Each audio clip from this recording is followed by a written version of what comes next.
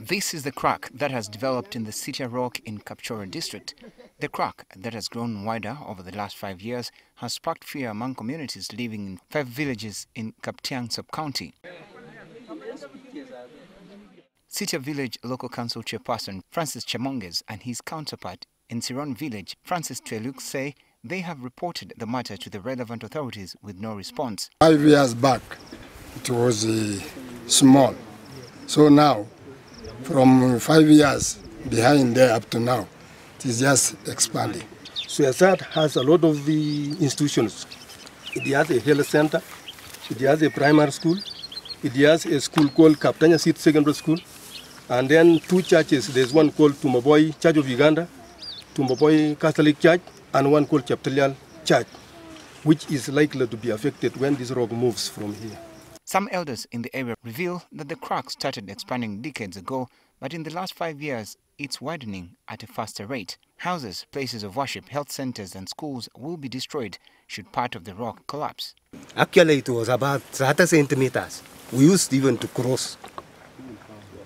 But as time went by, it started enlarging, enlarging, until we could no longer jump over.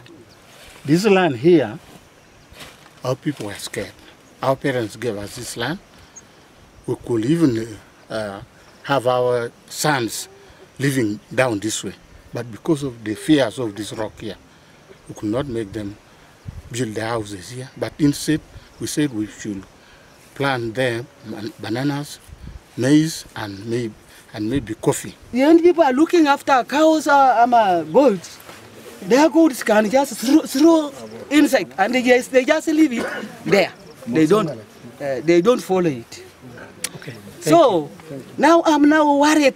Tom Wandera, an environmentalist, attributes the crack in the rock to natural causes like rock weathering. Now, as the water get, gets iced, it expands, and now that kind of expansion and the and, and, and, and thawing is what we what what mainly causes the the, the, the rock to move.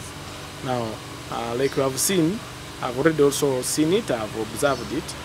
Uh, it, it is widening and it is continuously widening. Dennis Oyeko, the Kaptiang sub-county chairperson, says over 300 families will be affected if disaster strikes. Then definitely it will affect like 300 homesteads within my sub-county. It will also affect so many institutions, one secondary school, one primary school, two churches, and then crops, bananas, maize, and so many other things. Kapchorwa District Chairperson Evelyn Kubarika said they wrote to the office of the Prime Minister, which sent a team from the UPDF to assess the situation, but to date, they have not received any response.